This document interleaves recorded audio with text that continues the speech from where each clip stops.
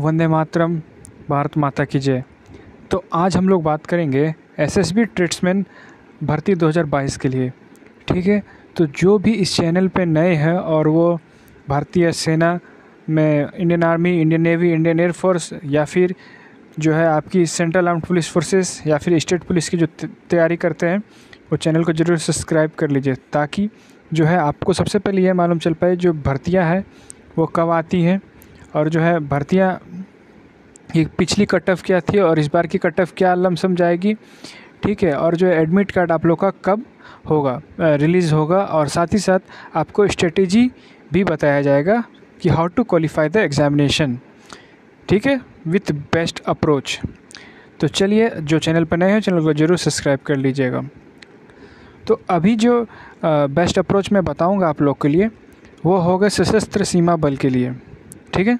ये best approach आप लोग का यह रहेगा कि आप लोग सबसे पहले अपना डॉक्यूमेंट जो है, आपका डॉक्यूमेंट है, उसको जो है तैयार कर लीजिए।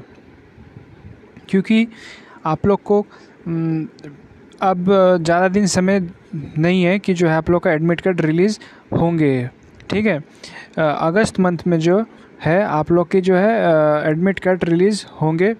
और अगस्त मंथ में जो आपके एडमिट कार्ड रिलीज़ होंगे, और उसके within twenty to twenty days में आप लोग के जो है आप लोग को बुला लिया जाएगा। किसके लिए? रैली के लिए। तो आप लोग अपने डॉक्यूमेंट तैयार रखेंगे तो आप लोग आसानी से जो है, वहाँ पे जो है रैली देख पाएँगे। अगर आप उस समय डॉक्यूमेंट तैयार करिएगा तो उतना जल्दी डॉक्यूमेंट जो है, आप लोग का तैयार नहीं हो पाएगा। तो आप सबसे पहले जान लेते हैं कि क्या क्या डॉक्यूमेंट लगेगा। तो पहला डॉक्यूमेंट जो लगने वाला है, वो है डेमोसाइल ठीक है, आवासीय। दूसरा है, कास्ट सर्टिफिकेट। तीसरा है, कैरेक्टर सर्टिफिकेट।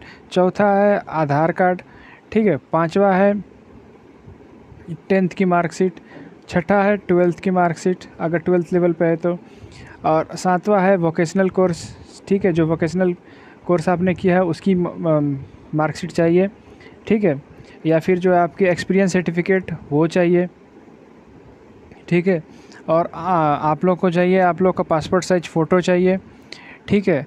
और जो जितने भी कर, ये सब बोल रहा था आवासीय और जो कास्ट सर्टिफिकेट वो एसडीओ लेवल पर चाहिए। मुझे बहुत बच्चे कमेंट करके पूछ रहे हैं कि सर किस लेवल पे चाहिए? तो मैं बता दे रहा हूँ अभी से ही एसडीओ लेवल ठीक है कम से कम एसडीओ लेवल पर चाहिए।